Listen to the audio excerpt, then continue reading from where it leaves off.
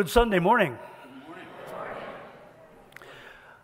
I'd like to go through the announcements quickly, if possible. Everything's here in your bulletin. I will not bore you with all the details, but I'll skip over some of these, touch on some, skip on others. Uh, summer devotionals are still going on. Anyone interested, you can still jump in. It's uh, primarily virtual, but uh, the information is here. Open door, please don't forget. We have a tendency to forget that open door.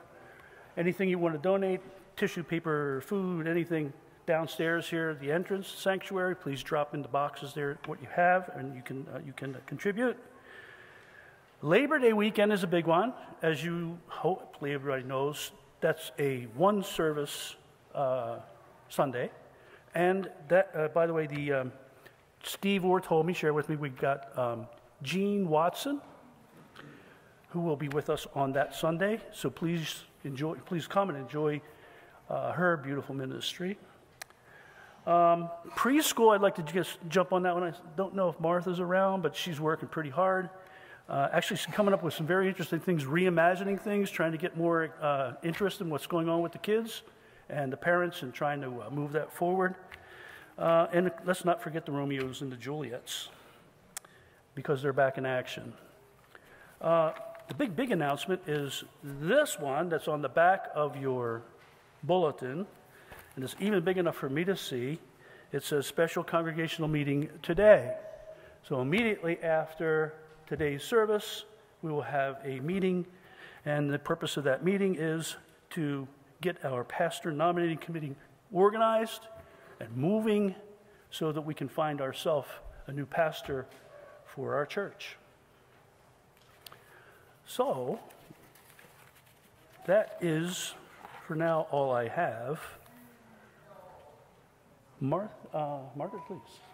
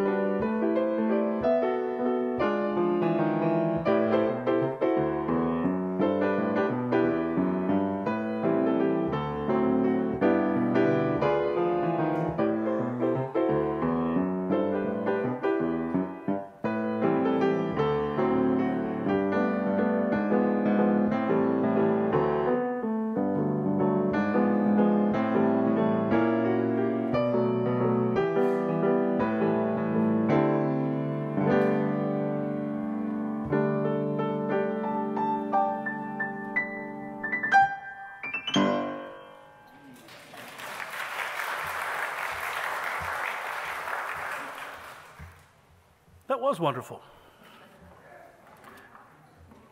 For those who are able, please stand for the call of worship. From Psalm 24 If it had not been the Lord who was on our side, let the people now say.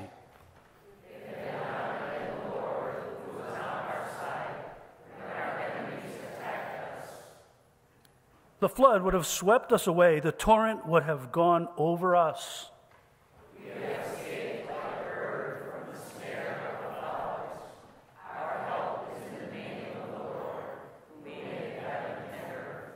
Let us worship God.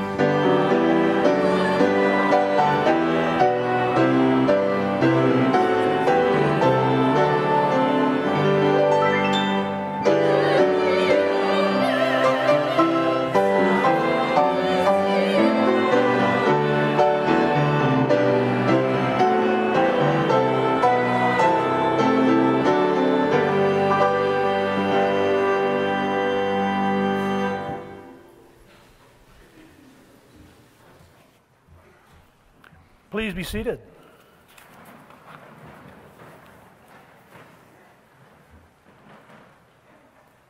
Let us all join in a corporate uh, prayer of confession. We pour out our hearts before you, O God. You are our refuge and strength. Waves of doubt beat against us, wakening our faith. Tremors of discord shake our foundation. The winds of temptation drive us from our course. Too often, we rely on ourselves when wisdom sought the storms of our soul. Provide in Christ a haven of hope for our troubled and distracted years. Please take a few minutes for your own individual prayer of confession.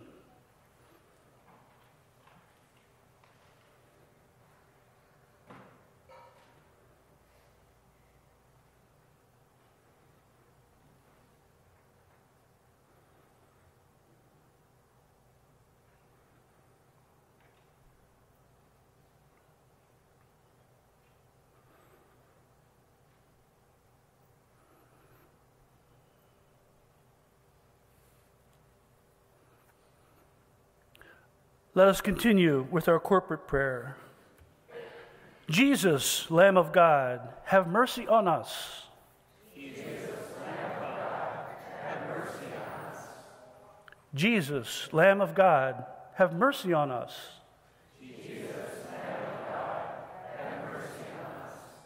Jesus, Lamb of God, grant us peace.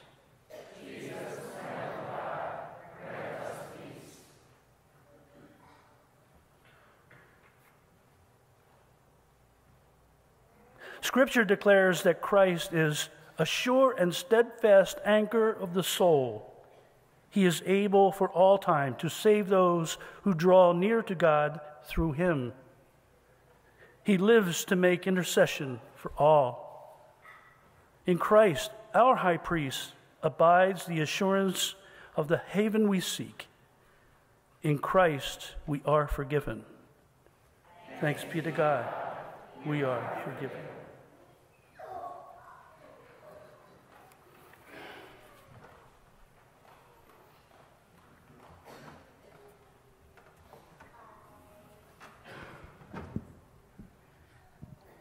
So excited to be here this morning. You have no idea because you are in for a treat. I want to read you something very, very quickly. It's an excerpt for the 150th Psalm, and then you'll know where I'm coming from.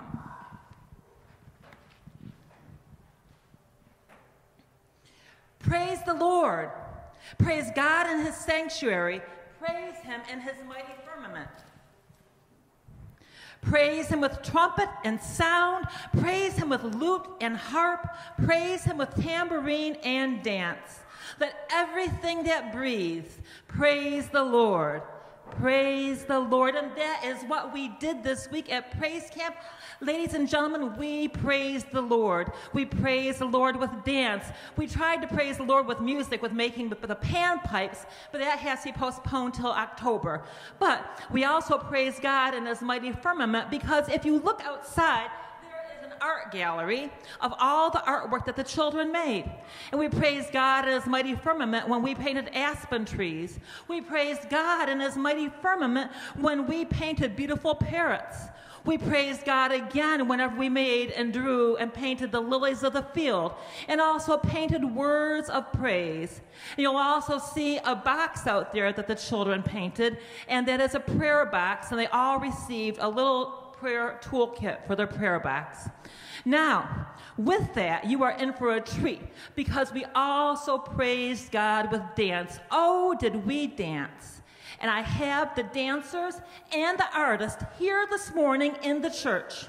So, if I could have all the dancers plus anyone else, any other child who wants to dance, Lucas, come on up. Mackenzie, come on up. Any child in the church who wants to dance, come on up. And Miss Julie, could I have you stand right here? And can you help me line them up right here? Perfect. Vera, Antonio, are you ready? Caitlin, come line up right here. Beautiful. Fantastic. Oh, here, let's stand up, okay? Let's stand right here. And you can watch Miss Julie, okay? Perfect.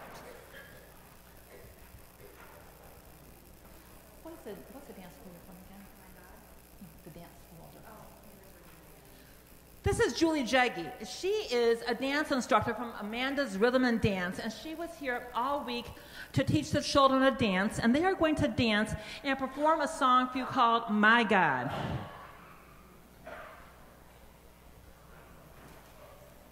My God is so big and so strong and so mighty. There's nothing my God cannot do.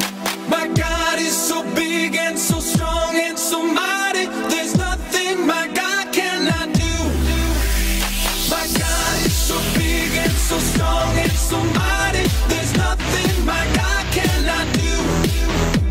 My God is so big and so strong and so mighty.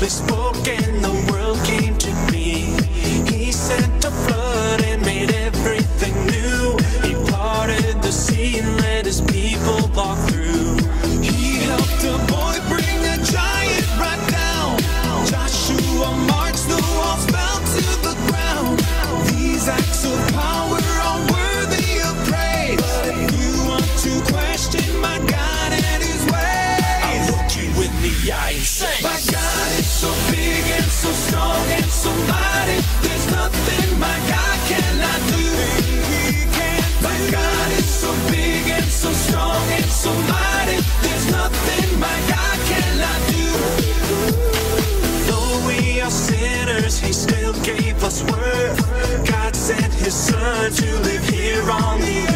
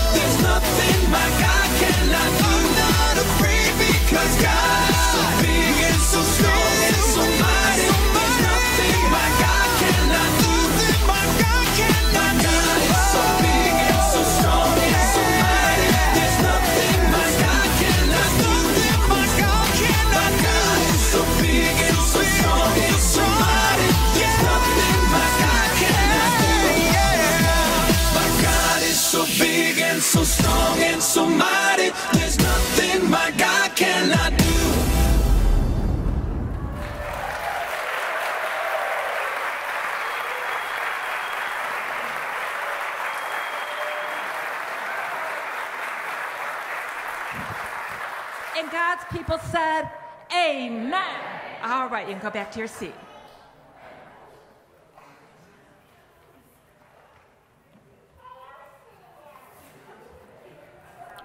Martha, that was fantastic. I think you woke us up.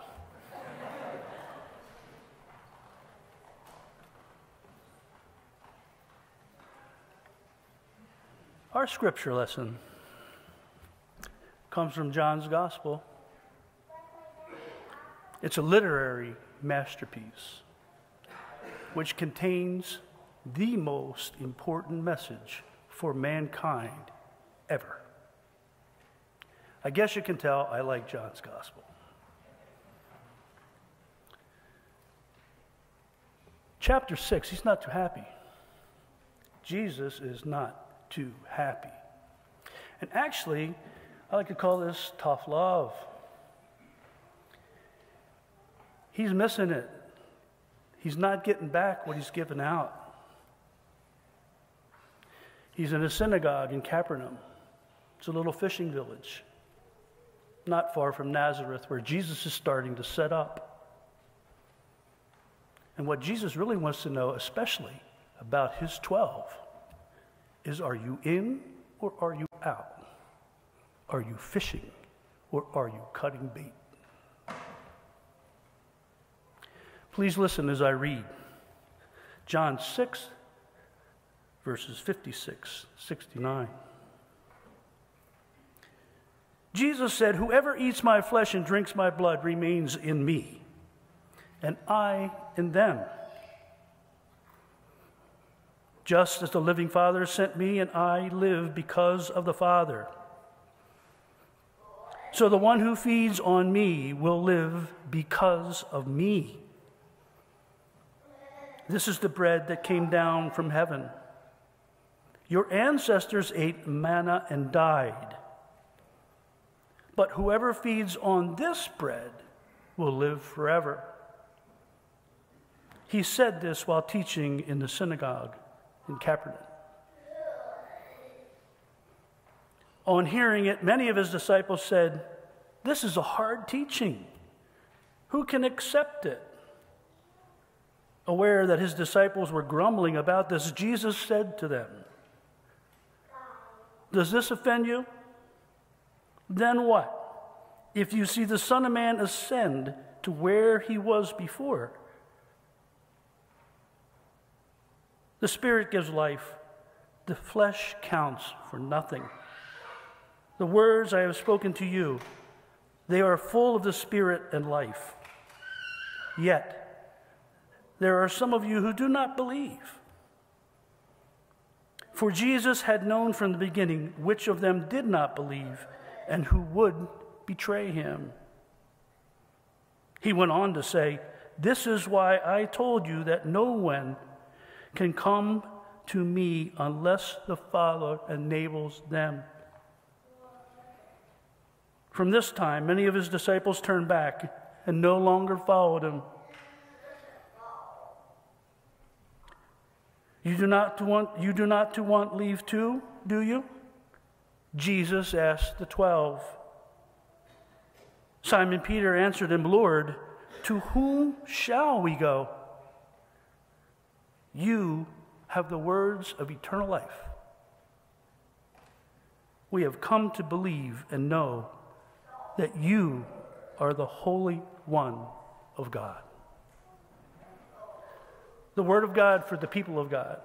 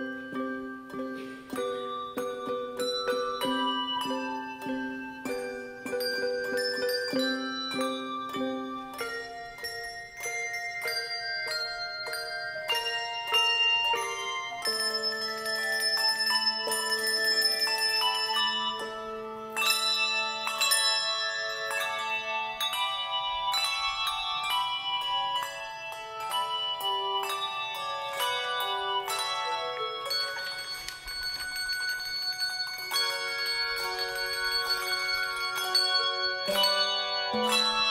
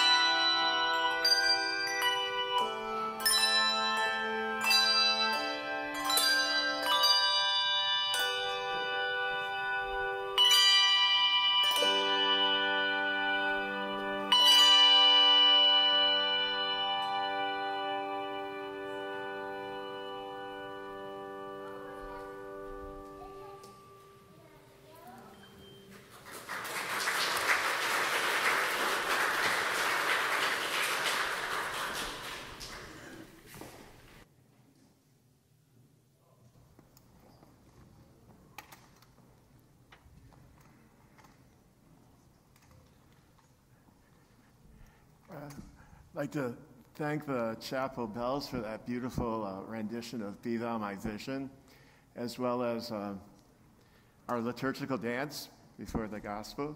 I, when Martha called and, and uh, to fill me in, I said, Oh, I'm not too sure about liturgical dance, I realized she wasn't really giving me a choice. I was only kidding about the, the liturgical dance, though.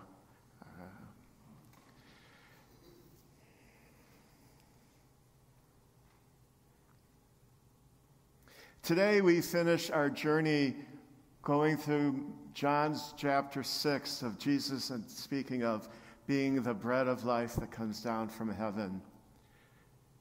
I really appreciated the fact that the folks who put together the Revised Common Lectionary included the verses right above uh, that, we, that we first heard, where Jesus said, I am the bread of life. Your ancestors ate manna in the desert and they died but whoever eats my flesh and drinks my blood will live forever. Then we go on to see that this was a hard teaching, and Jesus' disciples were arguing about it. This isn't the first time we've seen arguments uh, happening over this teaching. After Jesus had fed the 5,000 with uh, five loaves of barley bread and two fish, people were following him I think mostly because it was a free meal and they had had their full and their bellies were nice and full. And Jesus moves on to talking about, about spiritual food. And that's when the problems start. We read uh, previous weeks that there were arguments amongst themselves, amongst the disciples, about what Jesus really meant by what he was saying. And they're arguing today as well. I always find it interesting that none of these disciples bothered to ask Jesus to explain a little bit more of what he was saying. They don't talk to him, they talk to each other, and mostly we know what happens when that occurs. It just stirs the pot up. But we have to admit, as we've been reading John's Gospel this, these last Sundays, that this is a hard teaching. This is a hard teaching for us to accept.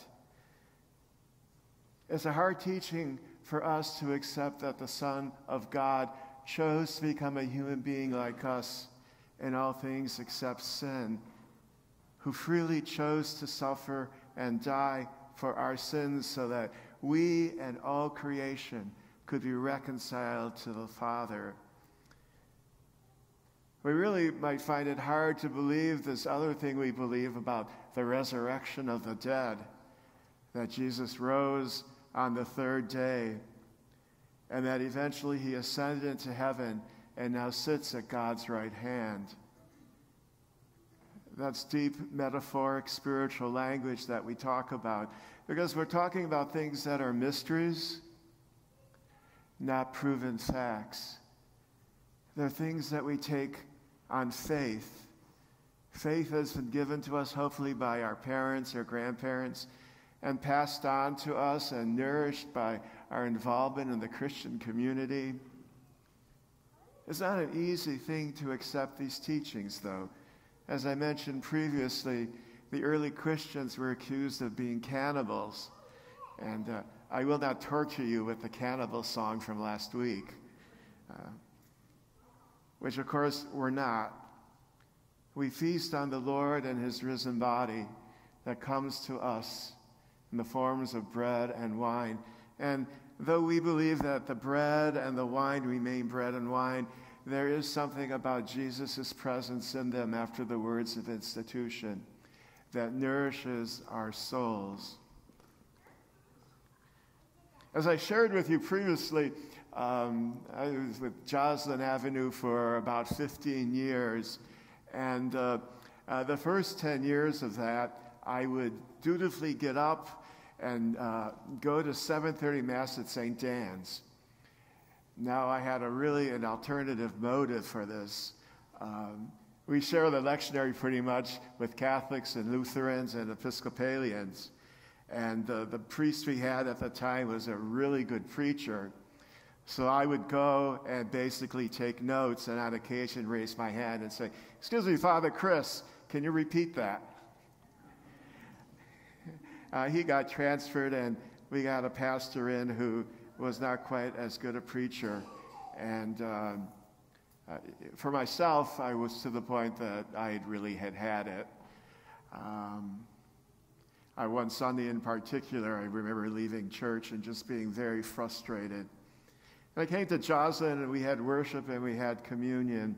And I will never forget the feeling of the Lord's presence in my heart and in our midst at that time, and the comfort and consolation that I received. And I hope the other members of the con- congregation experienced that as well. A hard teaching to accept, but we accept it on faith. Peter has this beautiful statement towards the end of today's gospel passage. And I love the line Lord, to whom shall we go? Lord, to whom shall we go? You have the words of eternal life. We have come to believe that you are the Holy One of God. We've come to believe. I'm convinced that he was moved by the Holy Spirit to make that profession of faith. I don't think he deduced it or figured it out on his own, but he was able to take a step out in faith and believe what Jesus was saying. Not that he had a 180 degree complete turnaround or 360 turnaround conversion, we know that he stumbled and bumbled during the rest of the Gospels, including betraying Jesus um, during Jesus' trial. And yet he took a step out of faith to believe. And we know further that after Pentecost, filled with the Holy Spirit, Peter preached of the good news, the gospel, and eventually was martyred in Rome. So that's pretty good for somebody who doesn't always get it right. It gives us courage as well and consolation when we don't quite get it right. And there's a good reason why we always have a prayer of confession before we be, really begin our worship, as it reminds us that we always come before God as sinners in need of His forgiving grace. One year, uh, Christmas fell on a Tuesday, and uh, so we were having our Christmas Eve service on Monday. And because the Joslyn community was rather elderly, we had Christmas service at 2 o'clock in the afternoon because we weren't allowed to drive at night. And so I was preparing the bulletin with the woman, she of the Dutch accent that I've mentioned previously. And I made some comment about well, you know, we just had the prayer of confession yesterday. I don't think we really need to do it again today. And she was like, What?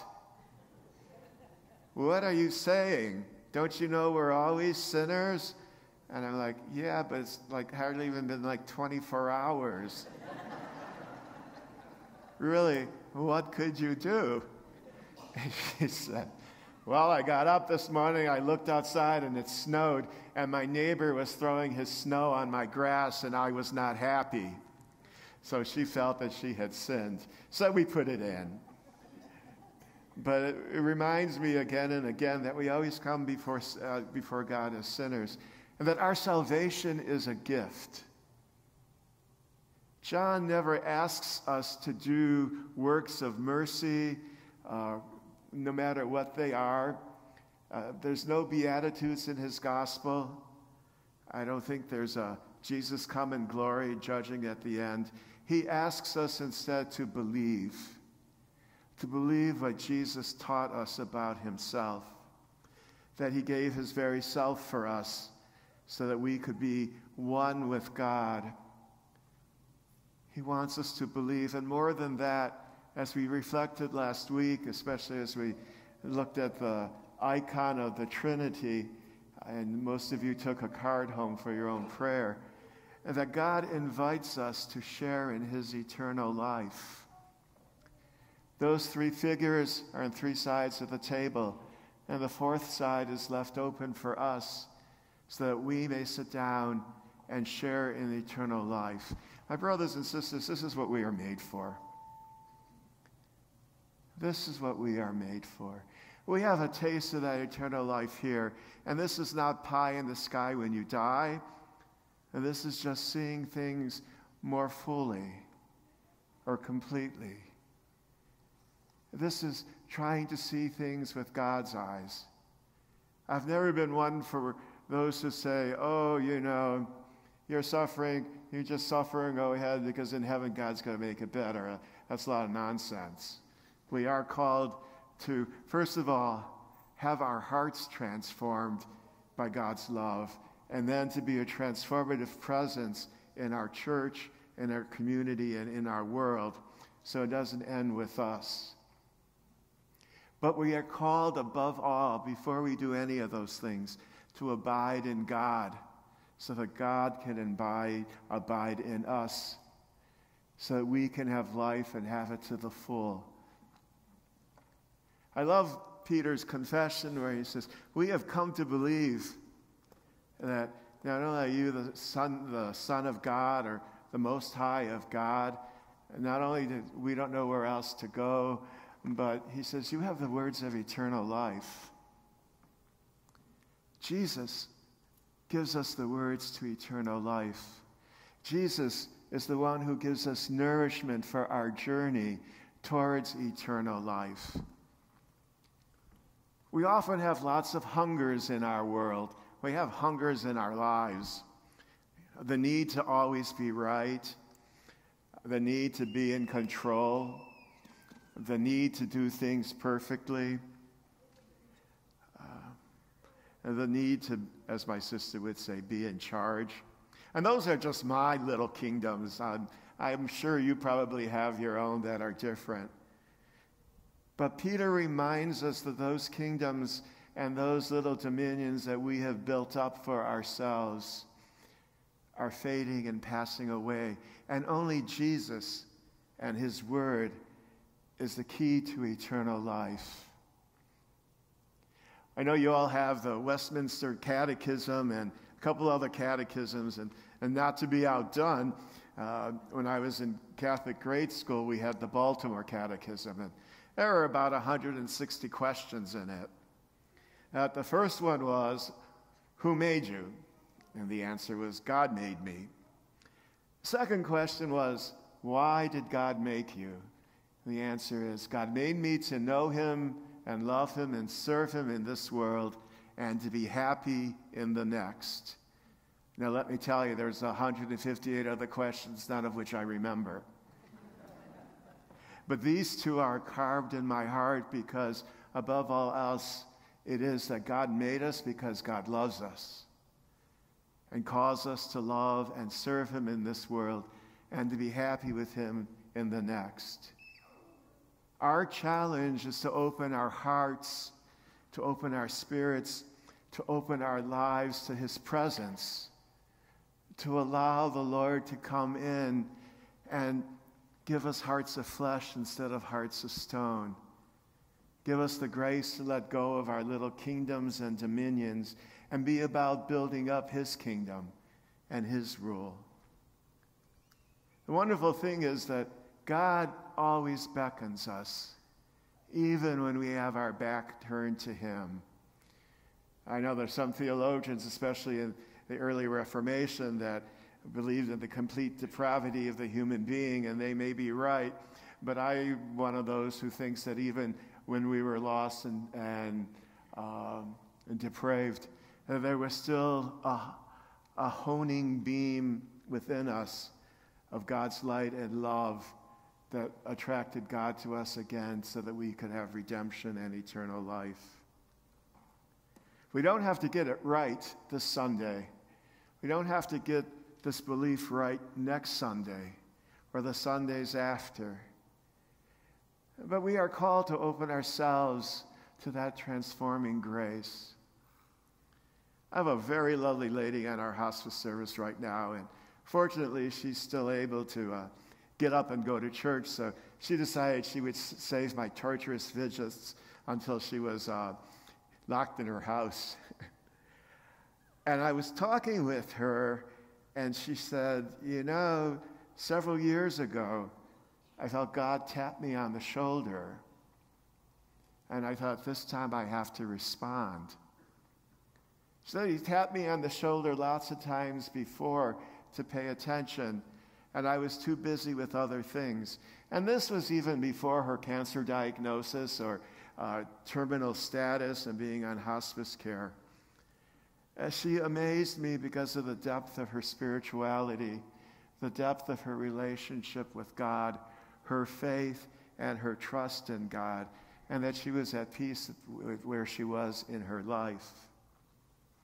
God continually taps us on the shoulder and invites us to pay attention. God continually calls us to God's self. God never turns his back on us, even if we turn our back on him. He has sent his Son so that we may have life and have it to the full. He has sent his Son so that we may have nourishment and support and be fed on our journey here until the day comes when we sit down at the banquet in heaven, where every tear will be wiped away and all things will be made well. One more really quick little story. I might have shared this before, and if I did, oh well. Uh, I was working as a full, uh, doing my work as a chaplain, and uh, went to see a the daughter of a patient who was in a, a, nursing home down in Livonia, like Livonia, like Middlebelt and I 96. And so, you know, I live in Clarkston. And, well, okay. And uh, then she says, Well, I work, so I can't be there till 5:30. And I said, Well, okay. And the reality is, I'm usually done with my work by 3:30, quarter to four. I go to the gym and come home and make supper and relax. I said, Well, all right, I'll come down and meet you there. So it's the middle of January, and of course, it's pitch black outside a quarter after five. And it's slushy, and it's cold, and it's snowing, and everything else. And I am not what you would say a happy camper. But I said I would be there. So I went, and we had a really nice visit. As I was talking with the patient's daughter, the patient herself was. Um, pretty much asleep and unresponsive. So I, I, I, you know, asked about mom's life and this, that, and the other thing. And, you know, then I asked the question, uh, well, who's waiting for her in heaven? I, I said, uh, you know, is your dad in heaven waiting for your mom? And she says, oh, yeah, he died, but they had a really bad divorce years ago. And I said, being the smart aleck that I am, oh, well, maybe there's somebody else waiting for her. And she looked at me and she said, What kind of hospice chaplain are you? Up until that moment, I thought, oh, a pretty damn good one. I've been doing this for 20 years. Like, what's your problem? And she, she looked at me and she said, Don't you know that in heaven all things are healed and made well? And she cut me to the quick. She was absolutely right. That's our destiny. To be healed and be made whole, to share in God's life fully. I encourage you this week to pray for the grace to allow God's transformative presence to come into your lives and to have the grace to cooperate with it. Also, to have the grace not to give up. We are a work in progress until our dying breath, and maybe even a little bit after that. But we don't give up. We continue to persevere. And we do because we know that God is with us, God loves us, and God wants us to have eternal life. Amen.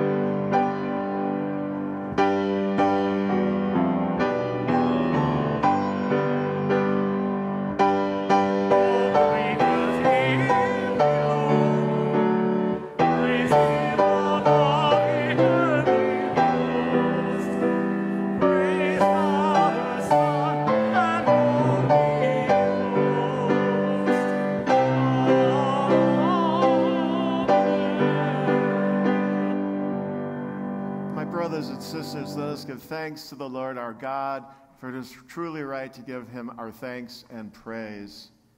And we pray, God, we praise you. We gather together to worship you, to remember the goodness and unfailing love you have shown toward us, your people. Time after time, you have come to our rescue. Your love has sustained us through good times and bad. No matter what we faced, whether accident, illness, disappointment, or death, you were there, encouraging, strengthening, and blessing. Even when we turned our back on you, you did not abandon us, but waited patiently for us to return, ready to welcome us with open arms. Because we have known your love in the past, we look to the days ahead without fear. No matter how uncertain the future may seem, we will continue to trust in your unfailing love, confident that you will guide us in the days ahead as you have guided us in the past. Let the church say, Amen.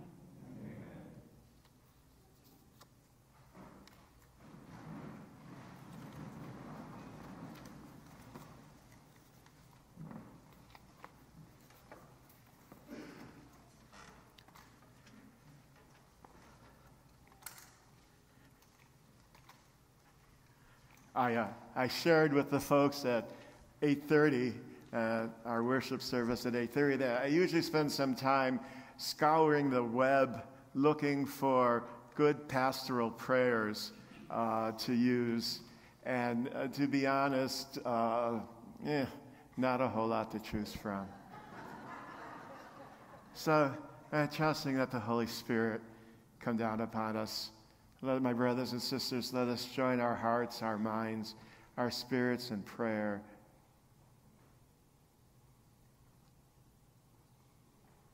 Gracious and loving God, you have made us for yourself, and our hearts are restless until they rest in you.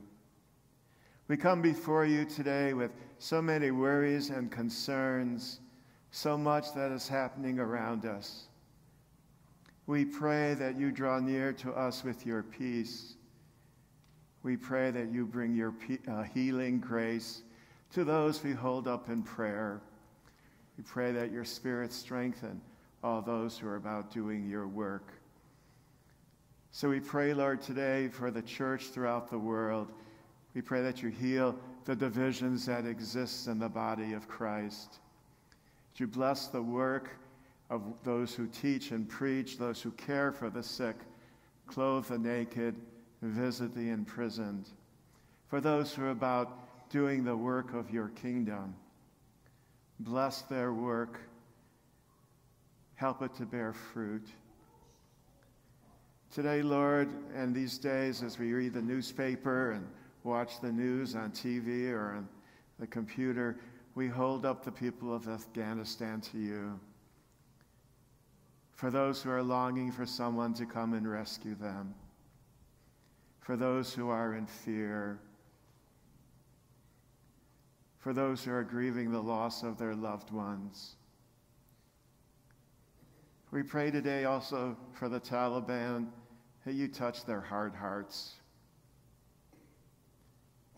We ask that you touch them so that they no longer use religion as an excuse for war, and power. We ask that your blessings come down upon all those who are working to bring people out of Kabul and bring them home to safety.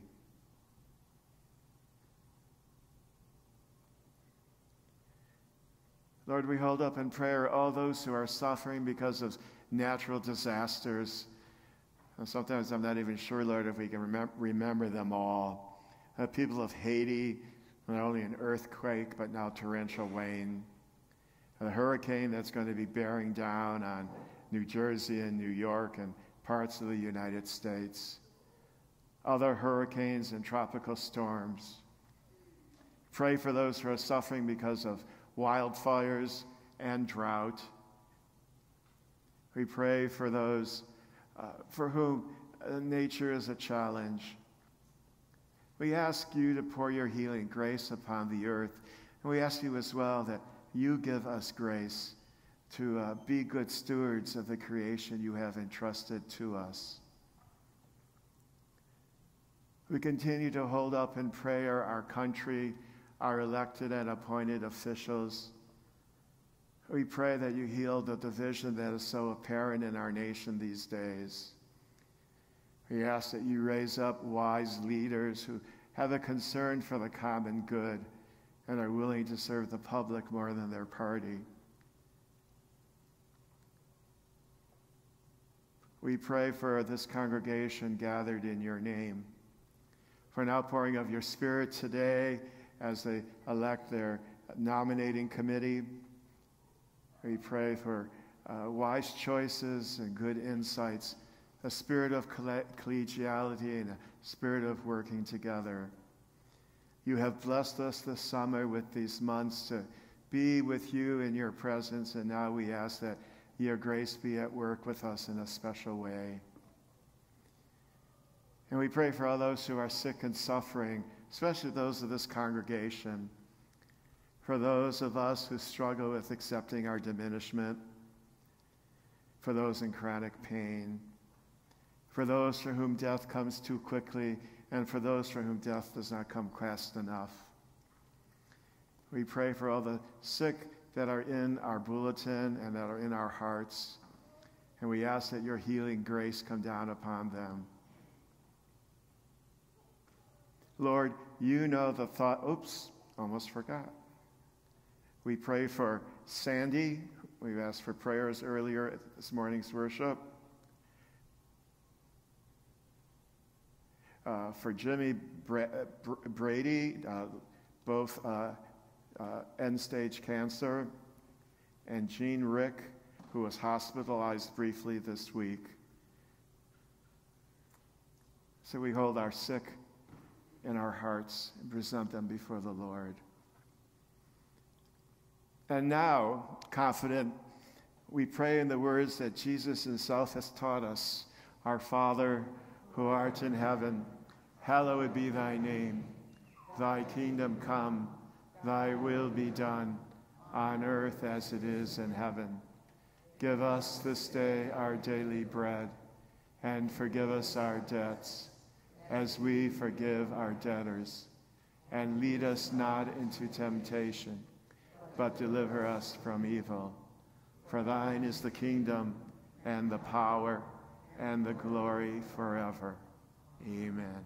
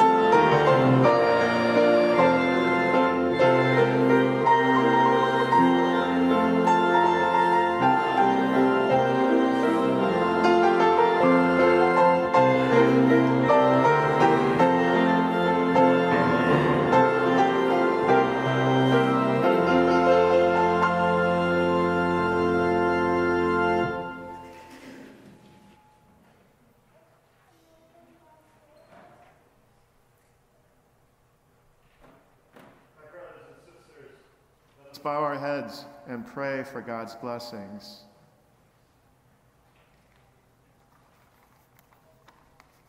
May the love of God, oh, may the love of our Lord Jesus Christ draw us to him. May the power of the Lord Jesus strengthen us in his service. May the joy of the Lord Jesus fill our hearts. And may the blessings of Almighty God, of the Father, the Son, and the Holy Spirit come down upon us and remain with us forever. Amen. And may the peace of the Lord be with you always. I invite you to have a seat as we listen to the uh, postlude, and then I believe you'll be starting the congregation meeting right after that, and I'm going to sort of waddle out after the postlude.